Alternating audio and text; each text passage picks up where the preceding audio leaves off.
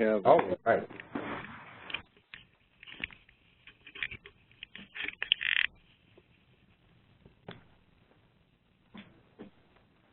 Well, it's uh, four minutes after. Let's go ahead and get started.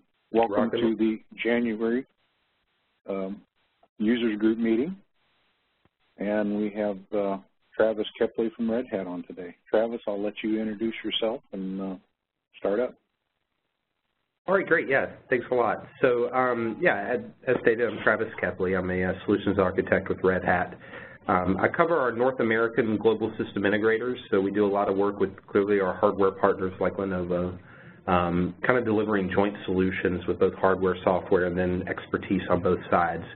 So I think it's a, a, a good time to be discussing this and uh, good good crew to discuss it with. So my understanding is, you know, we've got a user group here, so a lot of guys that use Linux open source technologies, fairly aware of what Red Hat is, um, but going to do a little talking today about um, about our OpenStack platform, our joint partnership and announcements with Lenovo over the past year or so, uh, and you know, kind of how all this works. And you know, the, the big thing that I'll ask uh, before we get started is, you know, as we move through, feel free to pop in questions. I'll be sharing this presentation. Hopefully Kevin and team can keep me abreast of questions that come in. But I like to keep it interactive, especially with a user group like this. That's kind of the goal. We don't want to make this all about me presenting. Um, so yeah, anything else before we get started? No, I think that's uh, good. Okay, very good. So as you can see, there's my contact info. If you have any questions after the meeting, just tkep at redhat.com.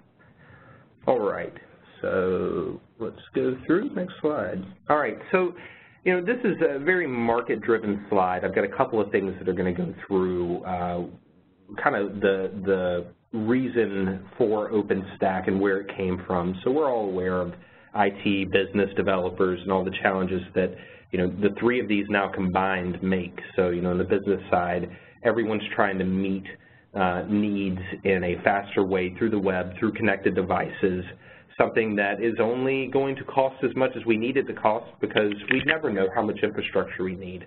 You know, example I always use is if your site hits the front page of CNN.com, that's a great thing. But if no one can get to your site because everyone's trying to get to your site, that's clearly a bad thing. But we can't pay for things that may happen with growth, so they're always looking for that scalable, elastic, pay-as-you-go model. Um, and that's becoming more and more of a thing, especially, again, working with our global system integrators, we see it all the time. On the developer side, you know, they're wanting to use the latest tooling, you know, trying to keep up with the Joneses, trying to keep up and make sure that, um, you know, anything they're putting out is, uh, in whatever way it might be, competitive with those things coming about. You know, I'll give you an example.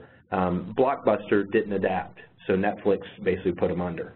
Um, you know, had Blockbuster had the developer, you know, sense and, you know, know-how, they may have been able to accept the challenge better, but instead they didn't adapt and they're gone. Um, so, you know, that's a big thing that's happening everywhere, and it used to just be IT shops, but even non-tech companies have this problem today. And all of this, of course, is being put on IT.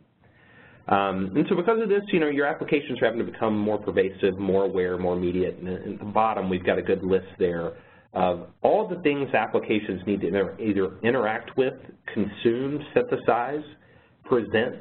Uh, you know, all of this has to happen, and uh, it's becoming more and more um, you know, tough to do this with so many disparate applications. You know, Red Hat being what we are, uh, it, has been kind of nice because we've, we've been kind of preaching the, the idea of openness and lack of lock-in for years.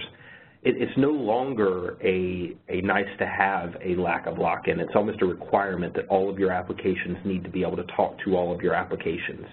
And so that's another force that really drove OpenStack to become the juggernaut it's become uh, and the force in the industry in that regard. So with this, you know, and this would be about the end of the kind of marketing side. We'll get more into the tech and the uh, the partnership here, but um, you know, IT operations have to adapt. Again, I, I just talked about Blockbuster. You know, as both a business and as an IT shop, they clearly did not adapt, and they let others walk all over them. In fact, even the genesis of OpenStack came about because you had two companies or two entities in NASA and Rackspace that said, we need an alternative to EC2. There can't just be EC2 out there. We're going to lose our lunch, uh, especially for Rackspace because they did hosting. You know, that was their thing. So, you know, data's become too large. Uh, it's kind of incredible. My father-in-law, every night, if I wanted to know what he had for dinner, I just go to his Facebook and he's got a photo of it on there. Now, how many people look at my father-in-law's, you know, five, six megabyte photo every night? 10, 20? And then it's lost to the ether. Yet Facebook holds this for you know, indefinitely. It's hard to even get it erased.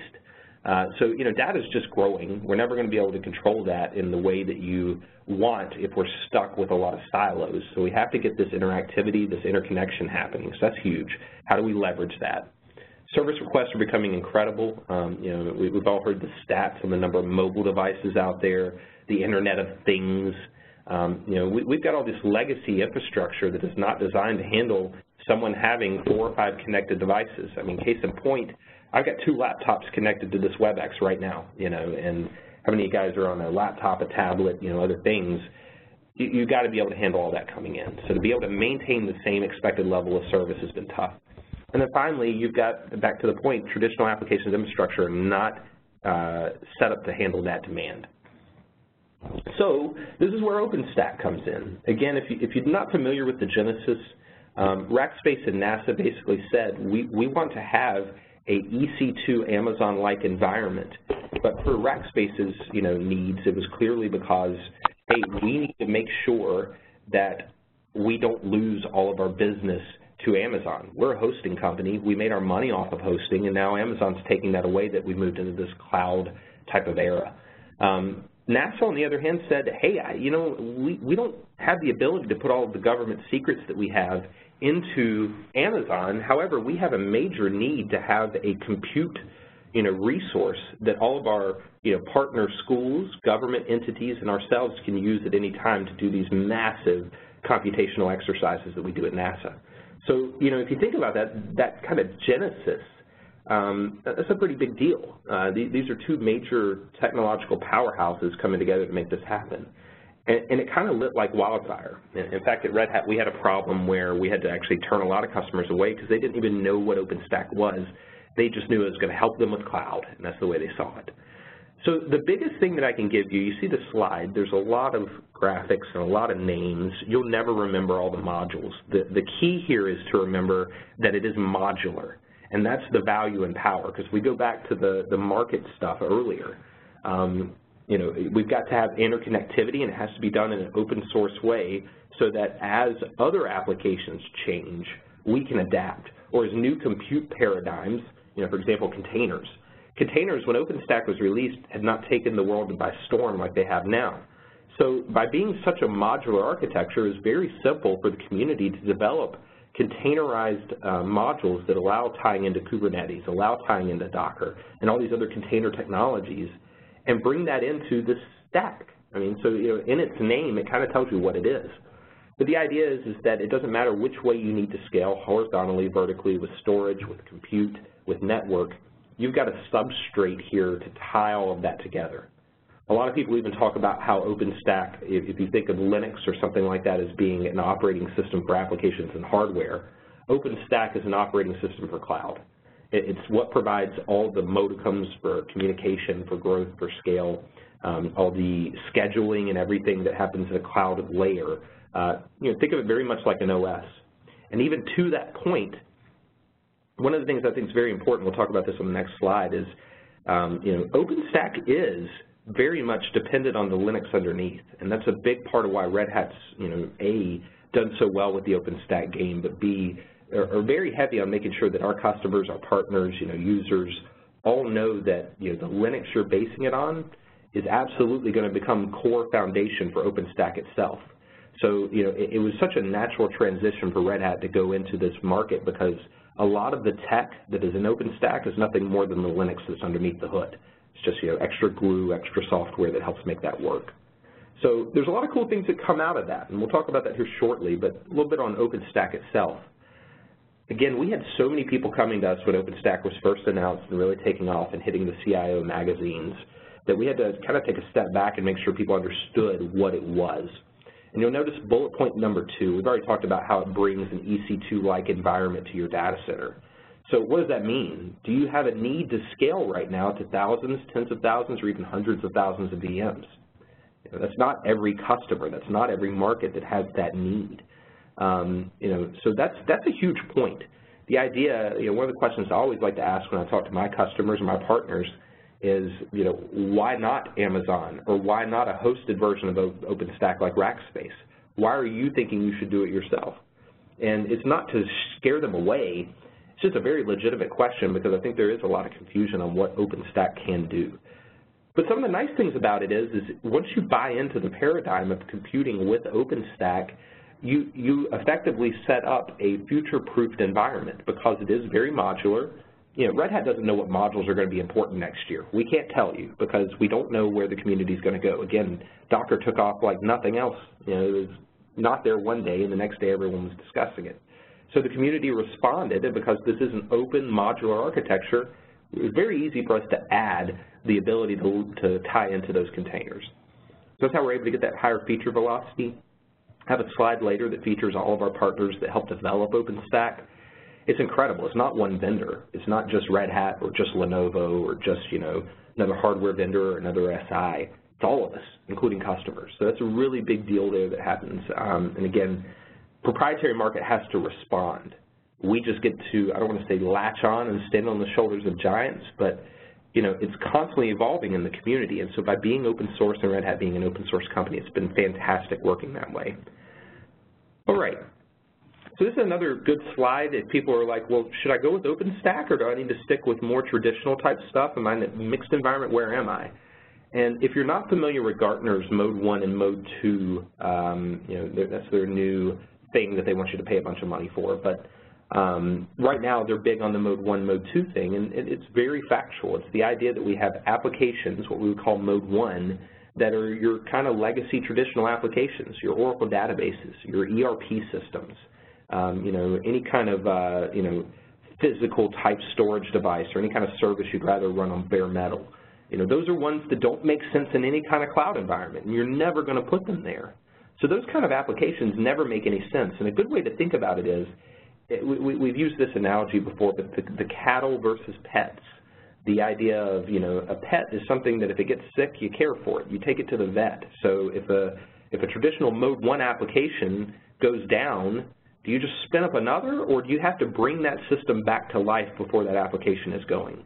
And that's a good way to think about it. If it's an application that can handle, you know, fault tolerance and scale automatically, you probably have more of a cloud application. You know, so back to the point of pets versus cattle, if my cow gets sick and I've got a thousand of them, you know, it's sad, but I shoot the cow in the head and I go get another. And that's really a good way to think about what is the difference between a Mode 1 and a Mode 2 app. Typically a Mode 2 app is those stateless, um, you know, what we would call microservice type of application. You know, think of the Google search appliance. You know, I don't know how many instances of the Google search appliance are running at any time, and I'm pretty sure Google doesn't either. They scale up and down as needed based on demand. So most of our conversations with OpenStack generally end up going down to the application level, even though this is infrastructure. And so what we consider infrastructure as a service, it's really the applications that this serves. And if your customers, if your shop or you know what you're doing is not in that side of the house, it probably makes sense to go with a more traditional or mixed hybrid environment and work your way towards an OpenStack cloud environment. And that requires having applications that can take advantage of this new compute paradigm. So I want to take a break real quick and make sure I'm not missing any questions. Um, I'm looking here at chat real quick. Doesn't look like we have anything. So again, feel free to throw you know, anything my way if you have any questions. I'm happy to take a break and answer. So why Red Hat? Well, we've seen this already, similar slide. Um, so let's add this. Uh, again, I, I mentioned this before. It is dependent on the underlying Linux. So, you know, a lot of customers, when they're wanting to kind of kick the tires, because as you guys are probably aware, open source software is available for free in the community, a lot of times the initial look at this is done via community. But because OpenStack is such a, complex beast and uh, it does require a lot of work to get going, once it's built, a lot of people don't relish the idea of rebuilding it. And so they'll get stuck on a community release, and, and you know one of the things you're going to see, just like with Red Hat Enterprise Linux, sometimes they move too fast. Uh, bug fixes come out for the newer version, but you're on the older version and you can't upgrade quickly. There's a lot of problems they have, but to me the biggest thing is the fact that we co-engineer. As we release Red Hat Enterprise Linux, we release a new version of OpenStack. We do a new dot release of Red Hat Enterprise Linux, a new dot release of Red Hat Enterprise Linux OpenStack platform is released. So it's very much co-engineered, so it's not just the support and the certifications that we'll talk about, but we get into a lot of neat stuff there. Um, for those who are not aware of our uh, entire kind of cloud stack, this gives you a kind of preview into it, but here's some things that we do very heavily um, and, and, are very deep into that I think help a lot of our customers out. So clearly we don't do the hardware. That's where we rely on someone like, for example, at the bottom there you see, you know, if your Windows virtual machine is hosted by a KVM hypervisor running on a Lenovo Blade, connecting to an EMC storage array through an Emulex HBA, and you have storage corruption issues, who do you call? Right, so that's why these partnerships and working with a vendor like Red Hat that has those partnerships are so advantageous because just like now we're working directly with Lenovo and we can make sure that you know we figure that out and get down to the bottom. So we've got the operating system, we've got our virtualization through KVM. If you're unfamiliar with KVM, it's a part of the Linux kernel and it's responsible for over 90% of OpenStack deployments in the world. Um, so it's kind of cool because you know we all know VMware for their virtualization and they do a great job at virtualization. Um, but you know, now that the compute paradigm is shifting to more of a microservices, containerized type approach, all of that is being deployed on KVM, and that's due to its speed, scale, and cost. So it's all the three things you need when you do things at that large of a scale. Um, and finally, we have OpenStack on the top and any supported guests we may run. Um, two additional things I'd add is we've got SE Linux there. If you're not familiar with SE Linux, that was something that was co-developed by Red Hat and the U.S. government um, and it's designed to make Linux a very hardened, DoD-approved military type of installation. So we use this at all of our financial services, all of our healthcare to achieve HIPAA compliance, things like that. This is baked into the Linux kernel. If you notice, the network stack, the virtualization, the device drivers, the security is all in the kernel itself. And so because this is the core of everything that OpenStack's running on, you get to leverage all the work we've done on Linux over the years. This is a very robust and mature stack for being such a new technology. Because really, it's just reusing old technology in a new way. So we've got a lot of abilities there to tie into everything you see there with SDN, storage, you know, hardware, VIRT, security. All that is available from Red Hat uh, and you know, working with our partners in that regard. So I'm going to go through a little bit on uh, features of OpenStack. We're not going to read every bullet point. Um, these are things that you guys can take with you. We'll send this slide deck out. Um, but one of the big things that we have added at Red Hat that has been huge for the community is something called Director.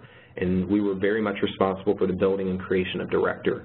Um, you know, OpenStack being such a modular, kind of loose association of various utilities that come together under the OpenStack umbrella, um, you know, installation and management was one of the initial um, roadblocks and humps that especially in the community customers were struggling with. Uh, and so Director, if you really want to think about it, it's almost a bootstrap mechanism for installing OpenStack. Just like you might use a Linux Live DVD to install Linux, um, you know, is basically an OpenStack instance that you use to spawn other OpenStack instances.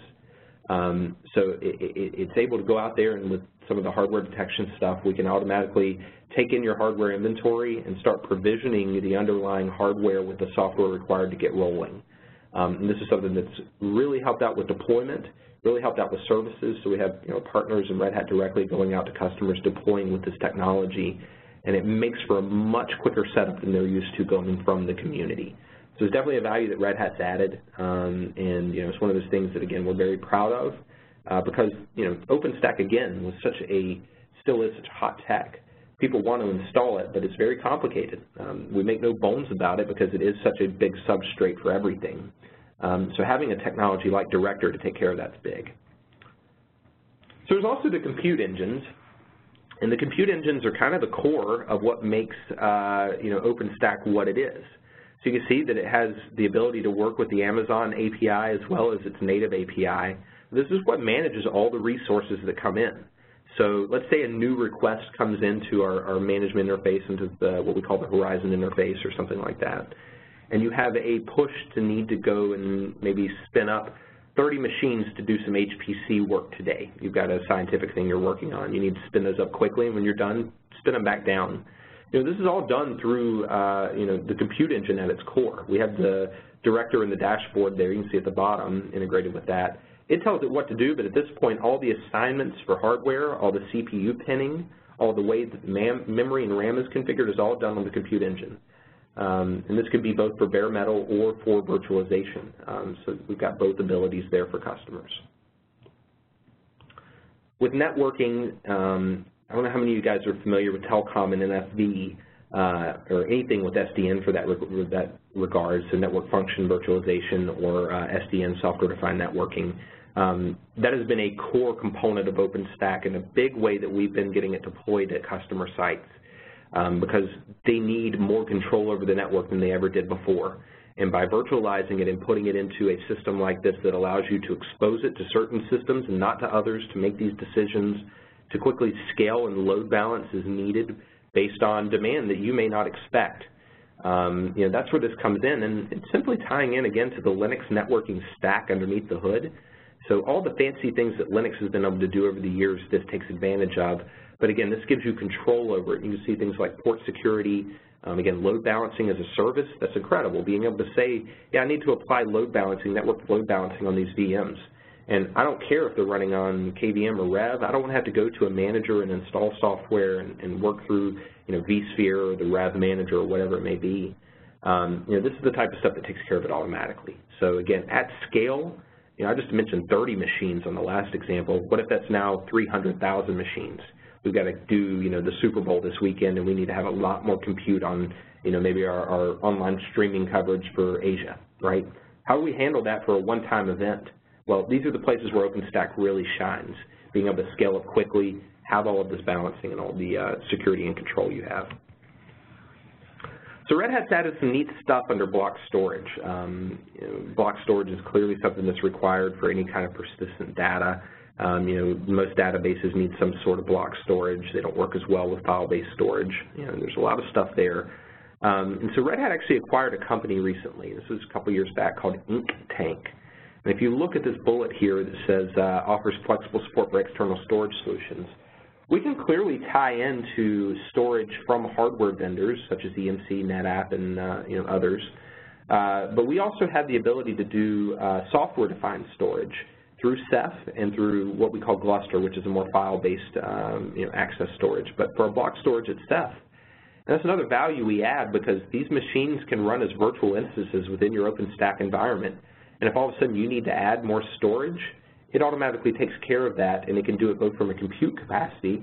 So if you think about old um, you know, SANs or NASs, you know, if you run out of compute capacity and there's no more room to upgrade that, you're, you're basically stuck with adding another SAN or you know completely overhauling your current infrastructure.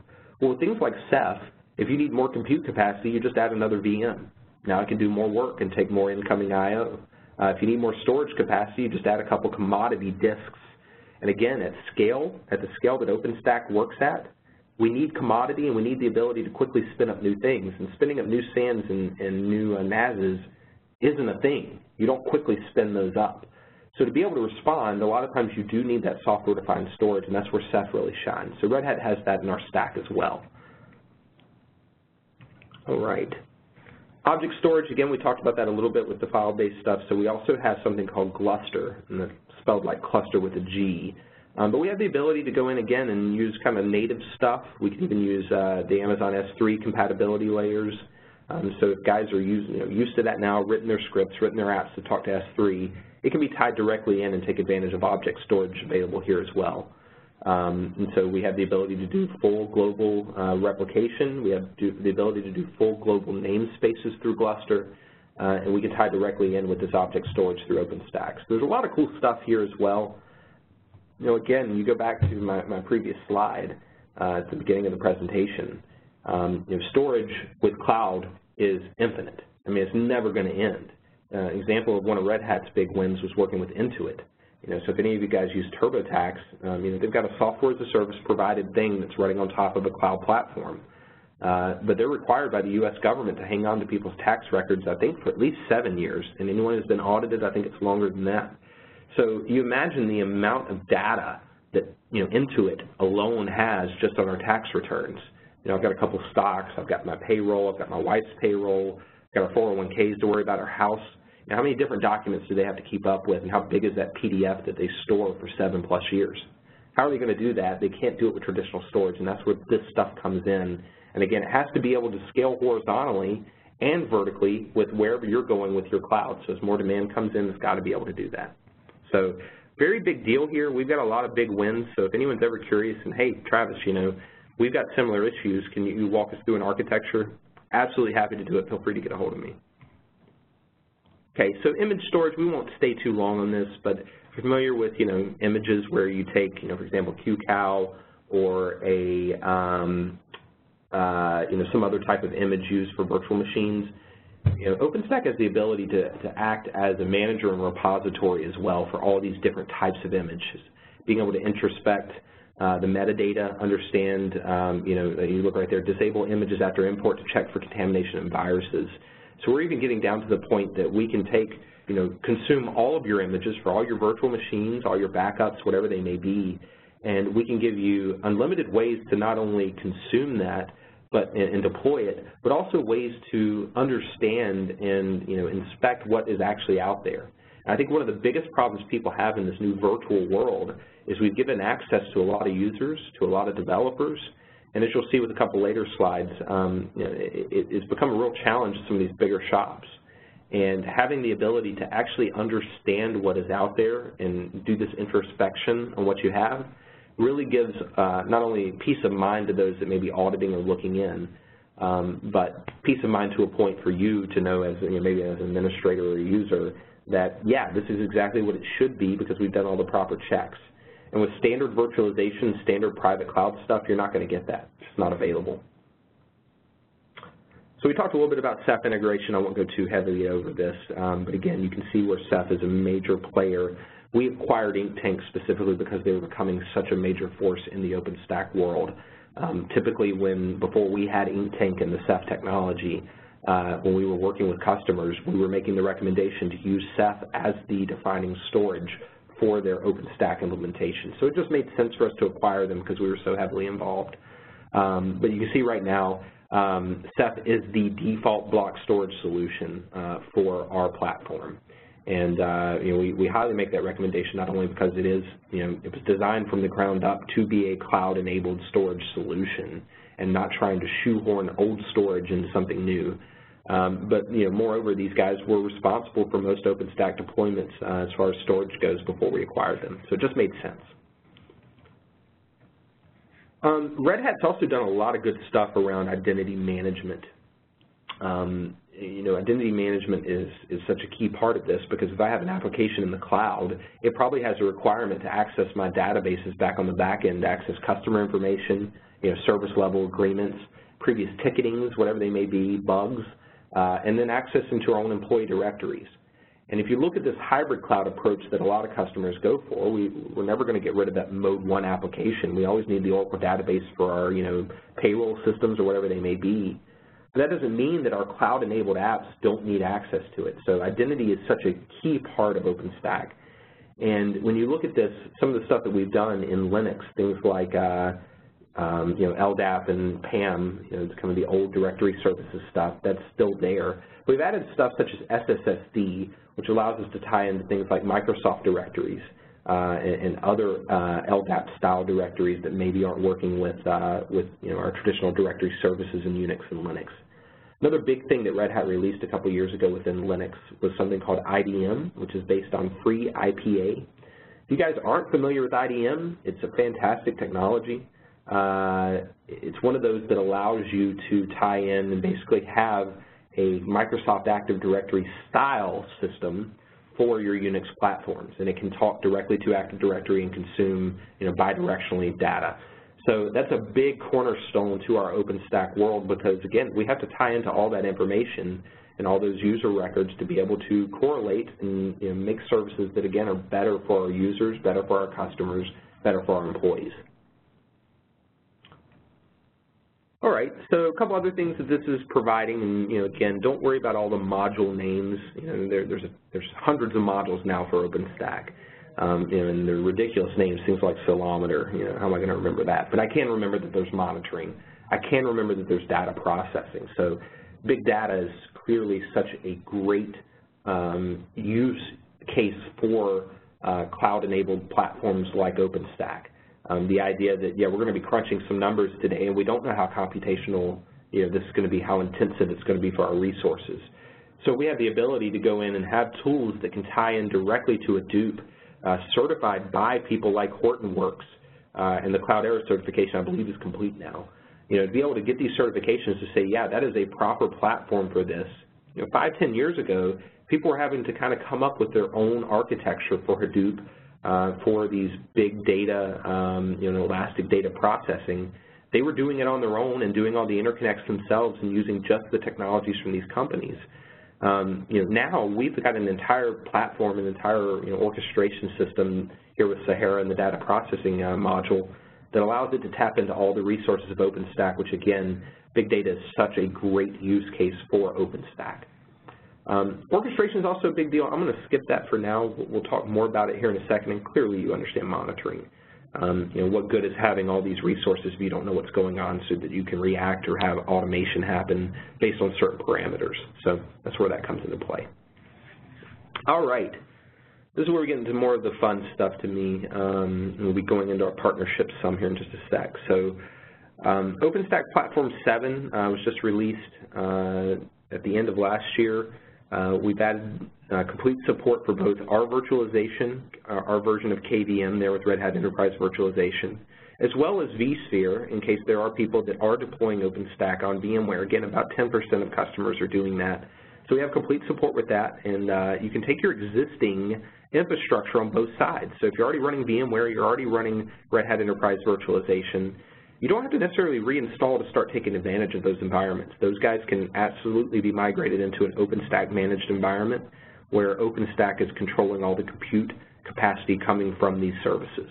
So you can really think of these as being yet another module that plugs into that compute module on OpenStack to provide everything you need to have, again, um, you know, everything you need to build this cloud platform, which virtualization is clearly a, a key piece of.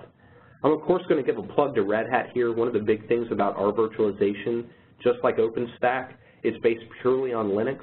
And as you can see, it's closer to operating system DNA there much less overhead, smaller attack surface because you don't have the, over, the OS and the hypervisor.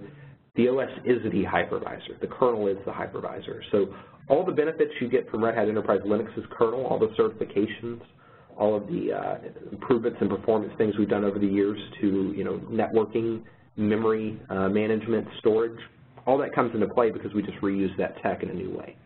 So I'm a big fan of the fact that we're not reinventing the wheel every time. We've already got a great platform there with, with Linux. Let's utilize it for other purposes. Virtual guest support, you know, we've got the major players here. Um, you, know, you, don't see things like Solaris. You don't see things like uh, you know, some of the, the community-driven um, operating systems. The big thing I can say there is, is that's not a technical limitation. That's absolutely something you can do. It's just Oracle's not too keen on, you know, enabling Solaris to run in a certified way on our platform, and I can understand it. We're, we're kind of fierce competitors these days. Uh, in the same token, we, we're not going to certify Debian because Debian doesn't have a entity that we can go to to get cross-certification on. Um, so, you know, SUSE, we've been long-term partners with those guys, so they're clearly there. Obviously, all of Red Hat stuff. But if you've noticed recently, we made a lot of splashes with Microsoft becoming much less competitors and much bigger partners. And so their entire operating system stack is supported. Even some of the stuff that's into life like XP, they still have on their list of supported platforms on OpenStack. Um, so there's people that are still riding around on XP. If you have a need, you know, Microsoft's gone that deep with our certification there. Um, so it's a really big deal considering that we've been competitors and such fierce competitors for so long that they're willing to certify on our platforms. Um, and speaking of the partner ecosystem, you know, these are some good numbers. Um, I love it. We've got over, and, and you look at that, uh, 4,000 different RHEL compute servers certified. So from companies like Lenovo, uh, you know, the, the former Lenovo owners of that hardware with IBM, HP, Dell, you know, pretty much anyone you could think of has certified their stack uh, on Red Hat Enterprise Linux. And because Red Hat Enterprise Linux and Red Hat Enterprise Linux OpenStack platform are both Red Hat Enterprise Linux at the core with the kernel, all of our certifications for RHEL come over to OpenStack. Um, there's additional certifications that we've done above and beyond that, but the nice thing is compatibility is already baked in. There's no question of if it's going to work. If it works with Linux, it works with OpenStack platform. That's a big thing, again, for you guys when you think about discussing it either, you know, in your organizations or maybe with your customers. Um, you know, it's a very easy statement to make. If you have Linux expertise, this isn't as scary as it seems because it is Linux under the hood. But that said, as you can see, we have uh, several training courses. Red Hat was the first company to have an OpenStack training course and certification fully available. So as you can see there, we actually have a certificate expertise not just for our virtualization administration, but for OpenStack itself. In addition to that, we have our consulting agencies and our partner consulting agencies that are capable of delivering uh, end-to-end -end solutions uh, around OpenStack. In fact, a couple years back, Red Hat made another investment in the OpenStack community, acquiring a company out of France called eNovance. And eNovance was a cloud services company. You know, they were born to implement cloud uh, platforms for customers. So they made a clear, again, just an obvious choice for acquisition since we were making such a big bet on OpenStack. And so we have the ability to deliver end-to-end -end consulting for OpenStack from start to finish for about any type of customer in any vertical. Um, added to that, when you bring in our, our GSI partners, our hardware partners, um, you know, it makes for an even bigger picture as far as what we're capable of delivering for customers. All right, so um, before we get into the what's coming, um, I know we've got about 20 minutes left uh, before the hour. Um, doesn't like there's a lot of questions. I hope that just means that you know, everyone's getting good stuff from this. But uh, please don't hesitate to send anything. I'm happy to talk. Um, make sure we're hitting the point. So a couple of things we're adding. Um, we're going to have database as a service. So you see there the DBaaS. Uh, that's a really interesting thing. Um, the ability to quickly, you know, right now we do have the ability to quickly spin up databases, but to actually provide it as a service, something that you know, a user or an application can request on the fly and not so much be tied to a certain image or a certain type of build. So in other words, an application may be dropped in, it's a cloud-ready application, an OpenStack certified application, and you may not, uh, you know, know necessarily as the application administrator what databases are even available to you. So through Trove and through this technology we're going to be adding, um, which is currently under tech preview, which basically think of that as beta, um, you know, you have the ability to use databases as a service and not necessarily have to know much about your infrastructure to be able to utilize that. You see the same thing there with DNS as a service. Uh, clearly we can see why that would be helpful. Um, you, know, you started a new network environment, you need to be able to tie into DNS. Uh, you know, yeah, you can tie into the DNS server, but to be able to build one on the fly that's specific for this environment, automatically configured, uh, and connect to your back-end services and your front-end applications. That's beautiful. One of those things that, again, a lot of people would love to have, especially as maybe, you know, a hosted, you know, one of our partners is doing hosting, they bring on a new customer that they're going to manage their services for, they need to build an entirely new network. And to do that by hand, especially within something as complex as OpenStack can be, any automation we can bring to that is going to be major. Finally, shared file storage. This is huge to be able to go back and tie into all those shared file systems that people have either from you know, their home directories, from their own personal systems, from maybe their NASs or their SANs, be able to pull those into a shared file pool that it then has access to you know, all your applications and compute resources within your infrastructure environment here. Um, so again, you know, if you, if you think about it, I could say almost the same thing for any of these modules, particularly those that tie into other hardware or software or any other type of compute paradigm like network and storage. Um, you know, they all roughly do the same thing, and that's, again, kind of the point of OpenStack. Red Hat, Lenovo, no one can tell you what's going to be the compute paradigm tomorrow. Just we, we don't know. Uh, no one could predict Facebook was going to take off. You know, we thought MySpace was the big thing. They, they, you know, Fox or whoever spent, you know, millions, maybe billions on buying, you know, MySpace. Next thing you know, Facebook took off and MySpace was nothing. We can't predict that. We don't know what compute necessities are going to come out for those types of platforms. All we can do is make sure that our technology is ready to adapt. And I think that's where the value of OpenStack really shines, is you're going to set up a infrastructure that as things change, it's not such a pain in the butt to have to make the changes. You just simply adopt a new plugin, basically. They're not plugins, but a new module. And you know, insert that into your environment and start leveraging your existing stuff with the new technology. So again, major advantage of using uh, OpenStack there. So our firewall as a service in regard to SDN stack on anyone's minds? Yes, uh, that is a great question. So with Neutron there, Um, I'll, I'll, give you a couple of examples. I wish I could give you the names, but when you hear the example, you'll understand why I can't. Um, but there's a couple of government agencies, we'll just say they're in North America and they deal with uh, military secrets. And these guys clearly have a need for you know true SDN and security features like firewall services, for example. Um, and one of the things they came to Red Hat about is they said, look, with the recent revelations of our own, you know, this is you know a government in North America complaining about the recent revelations, you know, through uh, our, our, own government spying on us, um, you know, doing things like taking Cisco's network switches, you know, these physical things, removing, uh, you know, intercepting them during shipment, removing the BIOS, um, you know, uh, uh, chips, replacing them with, you know, NSA uh, backdoor-enabled software, and then shipping them to the endpoint. You know, when those came out, a lot of government agencies said that's that's not good. You know, that that that kind of kills the whole point of us having a secure environment.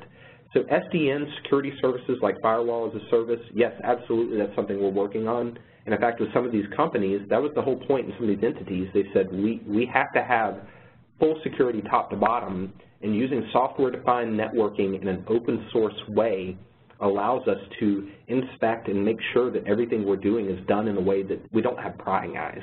We don't have people looking. There's a guarantee because we're in complete control. So back to the community, back to that, yeah. So I can't say for sure if we're going to have a firewall as a service plugin. I haven't looked, or a module I should say. I haven't looked directly at the, the modules lately.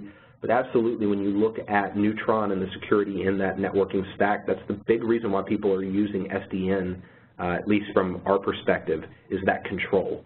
How do I make sure that I'm in full control? Uh, how do I make sure that, you know, uh, I can configure this in ways that are going to make sense to me because hardware is pretty limited uh, in what it's able to do in that regard. So yeah, great question. Um, and in fact, Phil, if you want to uh, follow up with me, um, or shoot me your email address. Um, I'll follow up with you. I can do some research and let you know where we're playing there. But great question. All right. So let me go into community contributions here. Um, Red Hat is, uh, thanks a lot, Phil. Yeah. So Red Hat is very proud of this stat on the left there. You'll see that we are number one in overall commits per company. Now, you know, quantity versus quality, where does that fit in? But uh, you know, if you know anything about Red Hat, clearly we're known for quality code. We've been a big reason why Linux has made it in the enterprise so pervasively. Uh, there's a reason why we partner with major companies such as Lenovo here to do presentations as this. You know, there's a trust there. So, you know, it, it is major to know that Red Hat is the number one corporate entity con, uh, contributing to OpenStack. And if you look, if you recall, I said Rackspace and NASA invented the dang thing, and, you know, Rackspace has fallen to number five. So this is how big of a thing this has become. And you look at the names in that list, you know, you're, you're not talking about your, your typical, uh, you know, open source minor project contributor. You know, these are major companies making major investments into this technology. If you look to the right, this shows kind of uh, the percentage of each of the components that Red Hat contributes to. So for example, TripleO, the one that's got the lion's share where Red Hat's over 80 percent, TripleO is the community version of uh, Director that I talked about, that kind of bootstrap way to build OpenStack. Red Hat's pretty much fully responsible for building the installation and management process for OpenStack. So when you think about what enterprises need, first and foremost, they need a way to deploy the dang thing. You know, it's not going to be something they can handle on their own usually, and they're not going to want that. So, you know, Red Hat's made a, a clear and conscious effort to take this from being a um, kind of grassroots project into something that enterprises can truly consume. So again, big fan of that. Um, and you know, it's, again, good to know. Just again, that Red Hat's not just talking the talk. We're, we're, we're walking the, the proverbial walk here by doing these commits and working on the code in the community. So more reasons why these statistics matter. So we've done over 20 years in open source. Uh, it's incredible to me that we're approaching $3 billion uh, in the next couple of years purely on open source software people ask me what I do. The, the running joke at Red Hat is I sell free software. Um, you know, but to be able to do that means, again, we're putting quality and actual work into what we're doing. So first and foremost, the fact that there is no other company in the world that understands uh, open source software better than Red Hat. And I can state that factually. You know, there, there's no other company our size that has a pure open source software stack. None of our software is private. So when you look at that, um, and the fact that OpenStack is designed to be lack of lock-in, highly modular, tie into every bit of technology you can imagine. It's very important to work with someone that has these certifications in history um, for that partner collaboration, the influence on the strategy and direction of the project. You know, again, without us, they would not have a bootstrap style installer that gets this thing up and running quickly. And those are things that we recognize were major gaps to getting enterprise functionality and enterprise adoption available. All right, so um, we've got a few more minutes here. I want to make sure I, I cover these things because I think that's very important. Um, Red Hat's also been working on more than just OpenStack in our cloud environment. So OpenStack actually fits into a technology subset. It's a subset of a bigger technology group we call Red Hat Cloud Infrastructure. So typically we look at Red Hat Cloud Infrastructure as delivering the entire private cloud um, and tying in both the public clouds as well. So we have the ability to do systems management. So that's through technology such as our satellite systems management technology. We have the ability to do virtualization management through RHEV or working with Hyper-V or, uh, or uh, VMware in that regard. We have OpenStack and the OpenStack platform to be able to quickly scale your cloud-enabled applications. And then finally, we have a cloud management platform that ties together everything you see here in something we call CloudForms. So this is a slide that shows the actual technologies in play of what I just described.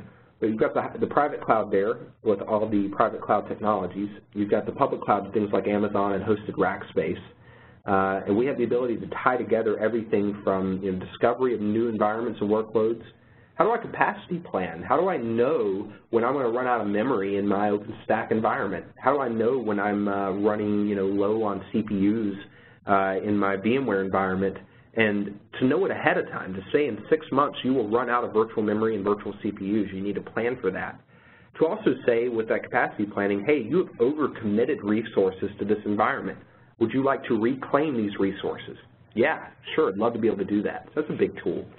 Um, compliance, reporting, analysis, the ability to do chargeback through all that information, orchestration, um, you know, all the stuff you see at the top, major functionality that when you get into things like managing you know, this hybrid environment where maybe you have some Amazon, maybe you have some OpenStack, maybe you have some VMware, uh, how, how, do I make sure that all those things are working seamlessly and I can you know, transfer between them as needed?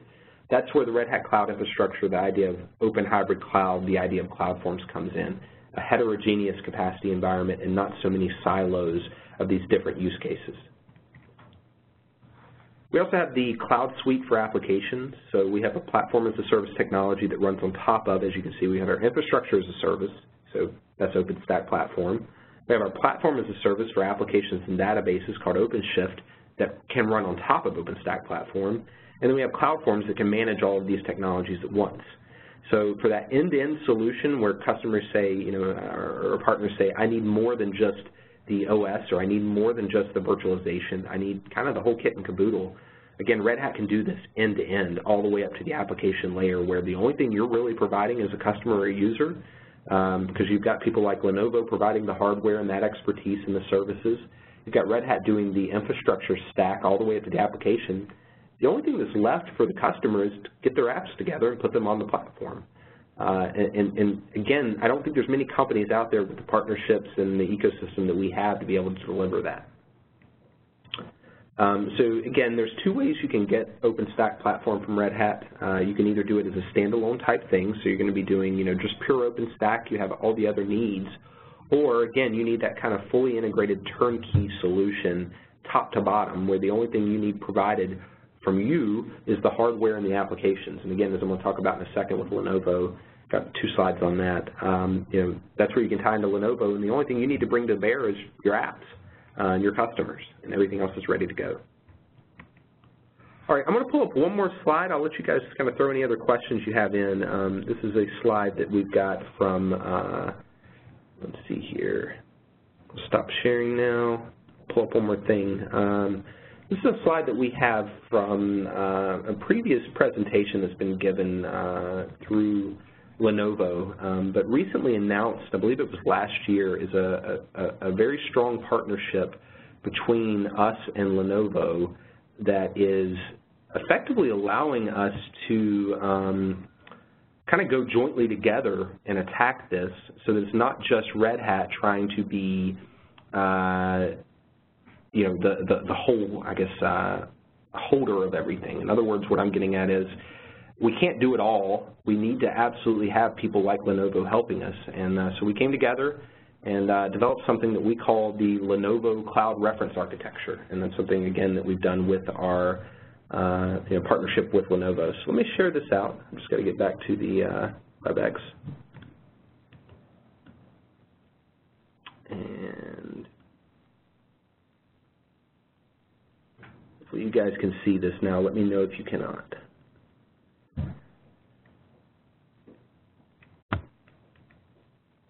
So with this in mind, the idea is, is you know, these services have been developed so that we can reduce that time. So Red Hat has that complete software stack, something that we've gone in, again, with uh, Lenovo here and designed with their hardware, with their expertise and their services to be able to build up a entire solution top to bottom so the only thing the customer needs to bring is their applications. Um, so this includes our platform design, our implementation services, you see that's kind of a mid-level service. So what we mean by that is, is typically Red Hat's going to be providing the um, you know, expertise. We're not going to necessarily be providing all the bodies required to build something as scalable and as large as this, and that's where Lenovo can definitely come in and help there. So this is based entirely on a reference architecture with Lenovo servers, Red Hat software, top to bottom. We made a big splash with it. Um, plenty of documentation out there, but uh, big reason why I'm presenting today is based on this uh, on this announcement that we made.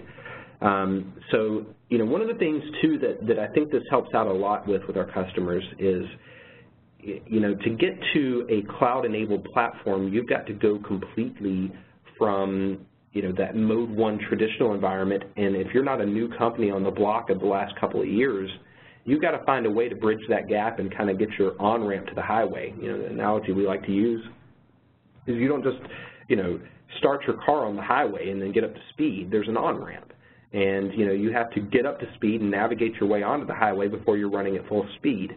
Not very safe to just come in out of nowhere and then you know try to get your car started and running. So this provides a very stable way for customers to start off with maybe just some basic virtualization, maybe some private cloud management stuff with CloudForms running on top of their Lenovo stack, uh, and start to build their way up to a point that they have a full you know, DYI, CloudForms, OpenStack uh, hardware setup to run with. Um, so think of it kind of again as the um, uh, you know on-ramp to the cloud is how we like to talk about it. I think this slide's another good one that uh, is good to see. This kind of tells you a little bit more about Red Hat. Um, I'm not going to focus too heavily on this, but we've got over 1 million community projects that Red Hat contributes to. It's really incredible there. Um, you know, some of the major ones you see Linux, Apache, OpenStack, but there's tons of others. And Red Hat almost nearly always has a community version of what we consider a product based on these projects. So for example, for Red Hat Enterprise Linux, we have Fedora. And in OpenStack, we have something called RDO. Uh, RDO maybe used to stand for something that started with Red Hat distribution of OpenStack, but now it literally stands for RDO. Um, we want to differentiate that between our actual, um, you know, paid-for certified project. But you can see that all of these fit in the infrastructure as a service or platform as a service paradigm.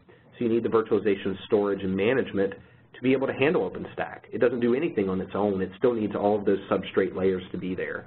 Um, and then when you get into the platform as a service stuff with our, you know, middleware, with our OpenShift delivery system, all of these are absolutely required for what we're doing here. So I think that's another good one to have. Um, is another good slide, another one just kind of help you understand the Red Hat process. This is uh, kind of another take on what we just saw. We have hundreds of thousands, or as you saw now, millions of projects we contribute to. I kind of think of this as a distillation process. You know, no one drinks whiskey uh, in the first couple of days. You've got to go through a, a distillation and aging process to make it good. And so just like that, you know, in the community, people are contributing code as quickly as they can write it. That's not consumable in the enterprise, even if they do want to move faster. So Red Hat has the ability to take these upstream projects, cherry pick the ones that we know are ready for the enterprise, start integrating them with our platforms before they become a project, or excuse me, before they become a product, and then we commercialize those, certify those, and then actually put support behind them. So it's a very good process to be able to, again, uh, leverage the power of open source, that agility. We don't know what's going to happen tomorrow. We just watch and monitor the communities and participate where the, it makes sense. And as those kind of bubble to the top, the best of breed shows up, and we're able to bring that to market. So it's another big reason why we partner with hardware vendors like IBM and Lenovo uh, and, and the hardware they develop, because we've got to rely on a full you know, certified stack. Lenovo does not certify community projects because again there's there's no entity to back that up. So that's why these partnerships are so handy and you know again to the infrastructure or to the enterprise so important. All right, so these are good numbers. Um, I think the last slide I've got here, I got one more. So good numbers to have. Um, you see 100% of airlines, 100% of you know, major banks when you look at Fortune 500, 100% of healthcare and 100% of telecom of Fortune 500 use Red Hat. Um, we've got over like 98% of Fortune 500 in general, but when you look at these verticals within Fortune 500, that's a major statement to make that they are all using Red Hat technology. Uh, and this is from 2013, so you know, no telling where this has changed since then. So a couple other things you guys can take away. Um, for those of you who work with Lenovo directly or have Lenovo as your partner, we do have uh, a couple of contacts here that you can make as well. So in addition to me being able to help you out, um, Matthew Ward is the solutions architect that works directly with Lenovo. Um, again, I work with all of our GSIs, so all of our system integrators. Um, and we also have our, our sales counterpart for the OEM relationship with Lenovo. So if you have interest above and beyond with Red Hat and you're already a Lenovo customer, want to reach out, those two are resources to Lenovo customers and Lenovo themselves. Uh, as well as you, you takeaways, I think it's good to know that not only do we have that complete stack um, from you know the Mode 1 data center stuff all the way to Mode 2 cloud, um, you know, we're major on getting our OEMs enabled to deliver these things, and that's why this partnership is happening between Lenovo and Red Hat.